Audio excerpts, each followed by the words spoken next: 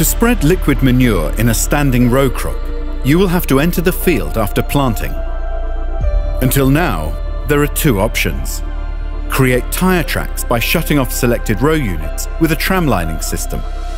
Or use no system and instead run over the plants with the liquid manure spreader. The unique, award-winning Väderstad WideLining system introduces a third option, which makes it possible to spread liquid manure in a standing row crop without having to lower the yield potential of the field.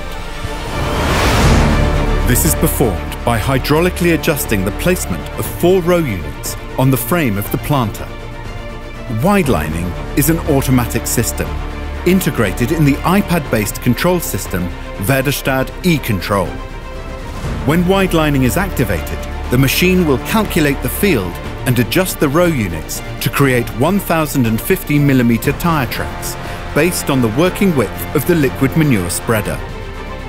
The row unit adjustment will automatically occur when the machine is lifted on the headland. By letting the Tempo planter always plant at its full capacity, Väderstad WideLining drastically increases the number of seeds planted in the field.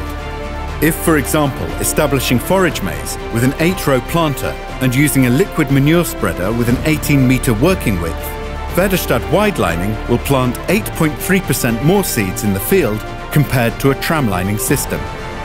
Since Väderstad WideLining makes it possible for all tempo row units to always plant at full seeding rate, the yield potential is kept on the highest level.